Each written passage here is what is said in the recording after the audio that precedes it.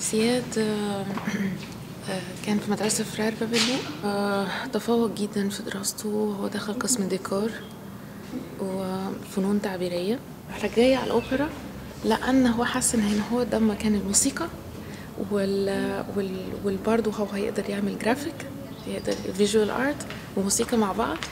فهو لقى نفسه جدا في ده. كان عندنا فرستريشن طبعا بقالنا كتير بقالنا سنين يعني اللي هو حاسين إن إيه ده, ده مش دي مش مصر. مصر أحسن من كده بكتير. إحنا إيه الاضطهاد وإيه إيه الديكتاتورية وإيه البشاعة اللي موجودة في البلد دي؟ وده على طول إحنا إحنا عايشين بيه يعني من من من إحنا صغيرين. لغاية ما الموضوع تفاقم جدا لما في آخر 2010 لما ال- الانتخابات اتزورت وبعديها بقى اللي كانت قطمت الظهر تماما بقى هي بداية 2011 راس السنة. عيد راس السنة. والمفروض آه، كل الناس هتعيد فرحانين وكل المسيحيين آه، بيصلوا. تبص تلاقيهم يتقتلوا. يتقتلوا. هما بيصلوا وراهم بقى أعياد. يحصل مجزرة. دي كانت الكارثة بالنسبة لي. وبالنسبة لنا كلنا طبعا. بس. بس آه طبعا كارثة. لكن هو ما فاقش بقى بعديها. ما فاقش. إحنا اتقطم وسطنا يعني. وحسينا كده هوت إن مصر خلاص ضاعت ضاعت فعلا. وقت ما كانوا بيقطعوا الإنترنت وهكذا آه، كنت أنا بتكلم مع زيادة على الشات على الفيسبوك. فراح قايل لي ميرا أنا I'm very proud of you. فقلت له أنا اللي proud of you. بس وبعديها اتقطعت النت. دي كانت آخر حاجة ما بيني وبين زياد قلناها لبعض. ف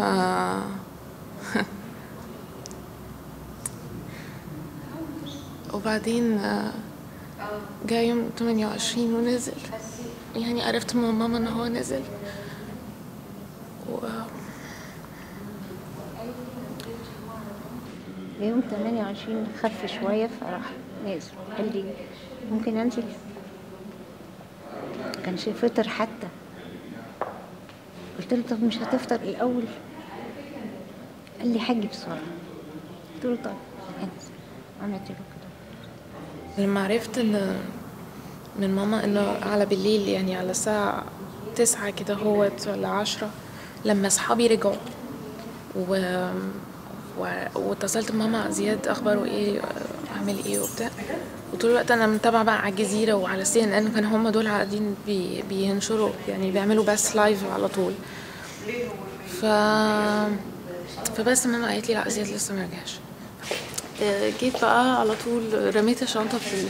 فاجئتهم لما كنتش قايلة لهم إن أنا جاي لأن لو كنت يعني المهم لا فبس جيت على البيت بخبط ماما بتفتح إيه ده؟ ميرا إزاي؟ إزاي انت هنا مش عارف إيه وبتاع. قلت لها أنا ما تقوليش يا ماما أنا هو جيت وبتاع ورحت رامية الشنطة. طبعا كل ده بدون نوم يعني بقالي أربع أيام ما نمتش مثلا. رحت نازلة على التحرير. كان ساعتها ال curfew شغال وكان أنا خدتها ماشي بقى من المهندسين لغاية التحرير. لأن بدأت بقى أسأل فين المصابين دخلت المستشفى الميداني اللي هو الجامع ده اللي ورا هارديس و وشفت الليستة بتاعت الأسامي عندهم ما لقيتش اسم زياد. آه بعد كده سألت فين اللي كانوا معتقلين وخرجوا كان في بعضهم رحت قابلتهم ما شفتوش زياد. رحتوا أنهي سجن؟ رحتوا مش عارف إيه. كل واحد يقول لي لا ما شفناهوش.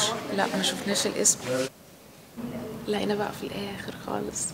لما رانيا اللي هي مرات الشهيد طارق عبد اللطيف دي إحنا اتعرفنا على بعض في خلال البحث. يعني هي لما شافت ال- ال page بتاعت الفيسبوك اتصلت بي اتصلت بالرقم قالت لي أنتوا بتدوروا على حد مفقود من يوم 28 مش كده؟ قلت لها آه. قالت لي أنا كمان بدور على جوزي. وندور سوا. آه فقلت لها آه ندور سوا. قعدنا مثلا شهر مع بعض ندور سوا. حصل إن أنا رحت المشرحه وفاكرة نفسي بقى يعني أنا متينه بقى وبتاع. أنا عمري ما شفت جوزها في حياتي. فدخلت والراجل يقول لي هتقدري؟ قلت له آه آه، يلا افتح وريني. ففتح الراجل آه وأنا قعدت أبص بقى. لا قلت لا ده هو المشكلة إيه؟ إن هو هو محفوظ كويس قوي ولكن آه، لون البشرة بيبقى متغير بيبقى بيبقى أغمق بكتير. قنص في طلقة واحدة في الصدر يعني دخلت من هنا من فوق الصدر وطالعة من تحت البطن هنا آه، بميل.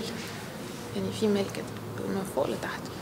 يعني أعتقد اللي زياد آه، بيحلم بيه إن يلاقي مصر فعلا آه، واخدة مكانتها في في الشرق الأوسط يعني المكانة الرائدة اللي إحنا تعودنا عليها أو اللي إحنا اتعلمناها.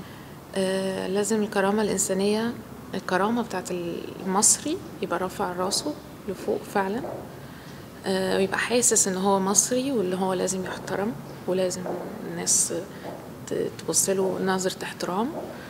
وطبعا ده بقى يتحقق إزاي؟ هي دي بس يعني محتاجة إن هو يكون satisfied. حاجات كتيرة قوي بقى اللي هو لما يشتغل ياخد ياخد مقابل شغله ياخد ياخد مقابل عمله يعني وتعبه. هو من حبه في مصر كان آه، نازل وهو تعبان وهو كل حاجة. بس أنا مش قادرة أنسى نظرته وهو بيبص لي. شفتوش بعديها. لازم كل مصري ينزل. إحنا لازم نخل... نتخلص من ال... من الحكم الديكتاتوري ده. لازم نتخل... نتخلص من ال... من النظام الفاسد. أنا لو بقدر أمشي كنت نزلت زيهم. يعني الموضوع مش دي مصر يا عالم. تبقى بالمنظر ده وشوفي من عشر سنين وإحنا عارفين إنها هتقوم ثوره بعد الانحدار اللي إحنا فيه اللي كنا فيه واللي ما زلنا فيه كنا حاسين لازم لازم تقوم ثوره